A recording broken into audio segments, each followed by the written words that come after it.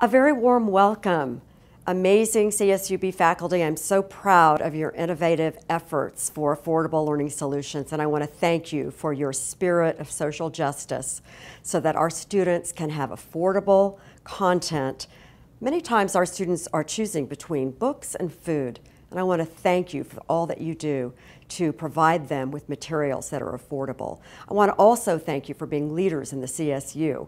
And as you know, we are standing right out in front, and I want you to continue to keep that effort in our service to students and affordable learning solutions. I'm so excited about the potential for having Z majors, zero cost, and I am eager to celebrate with those innovative faculty that come forward with the first degree. I want to again thank you from the bottom of my heart for all that you do for our students. I value your commitment to this social justice issue, and I celebrate with you today. Thank you.